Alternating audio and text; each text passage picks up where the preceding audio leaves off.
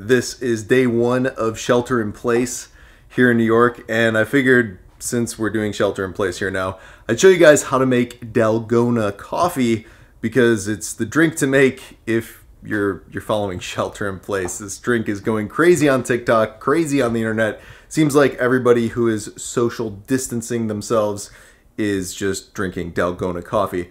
So I figured I'd show you how to make a keto Dalgona coffee since uh, the original version is definitely not keto. It's made with sugar, but making it keto is very, very easy. Basically, all you're gonna need is some confectioner swerve, some instant espresso or coffee, the milk of your choice. Today I'm going with unsweetened vanilla almond milk.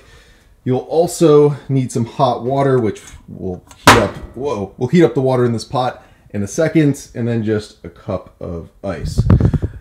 That's all we're gonna need to make it, so let's get going and make some keto Dalgona coffee. So first thing we wanna do is heat up our water. So while our water is warming up, we're gonna add five tablespoons of confectioner swerve, two medium-sized bowls, about 45 grams of swerve, then we're also going to add two tablespoons, about 14 grams of instant espresso to that bowl as well.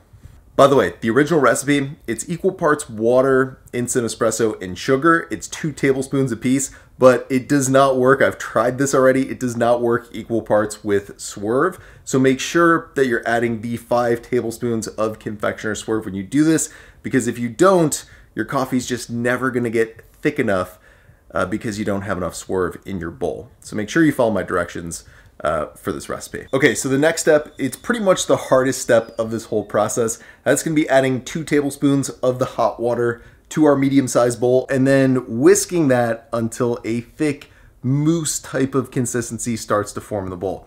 This is gonna take four, five, six minutes to happen. It's like, I don't know, hundreds and hundreds of, of whisks to get this to turn into a mousse. Your shoulder's gonna start hurting. You might start sweating a little bit, but that's how you know you're doing it right is you get a little shoulder pain and a little sweat going on, a little workout. We're all stuck in our homes anyway, so we might as well get a little workout in while we're making our coffee. But that being said, once the mousse does develop in the bowl, that's when we're gonna get a glass out, fill it with some ice, add the milk of our choice to the glass, about half full, and then we're gonna top that with that thick coffee mousse that we made just a minute ago.